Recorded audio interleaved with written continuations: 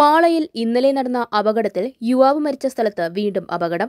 വടമ സ്വദേശിയായ പഴുപ്പറമ്പിൽ വീട്ടിൽ ആന്റണിക്കാണ് അപകടത്തിൽ പരിക്കേറ്റത്. ഇന്നലെ രാത്രി പത്ത് മണിക്ക് ശേഷമാണ് സംഭവം നടന്നത്. ഇന്നലെ വൈകിട്ട് അപകടത്തിൽ മരിച്ച ഡെൽബിന്റെ സഹോദരന്റെ പ്രതിശ്രുത വധുവിന്റെ ബന്ധുവാണ് ആന്റണി. മരിച്ച സ്ഥലം സന്ദർശിച്ച് നിർത്തിയിട്ടിരുന്ന ബൈക്കിലിരുന്ന ആന്റണിയെ അമിത വേഗത്തിൽ വന്ന കാർ പുറകിൽ നിന്നും ഇടിച്ചിടുകയായിരുന്നു. ശേഷം നിർത്താതെ പോയ കാറിനെ നാട്ടുകാർ പിന്തുടർന്ന് ഫോട്ടോയെടുത്ത് മാള പോലീസിൽ ഏൽപ്പിച്ചു. ഇന്ന് രാവിലെ മാള പോലീസ് കാർ കസ്റ്റഡിയിലെടുത്തിട്ടുണ്ട്. അടിമാലി സ്വദേശിയായ മാപ്പിളക്കുടിയിൽ വീട്ടിൽ അഭിലാണ് കാർ ഓടിച്ചിരുന്നത്. പരിക്കേറ്റ ആന്റണിയെ മാളയിലെ സ്വകാര്യ ആശുപത്രിയിൽ പ്രവേശിപ്പിച്ചുവെങ്കിലും വിദഗ്ധ ചികിത്സയ്ക്കായി കറുകുറ്റിയിലെ മറ്റൊരാശുപത്രിയിലേക്ക് മാറ്റിയിരുന്നു.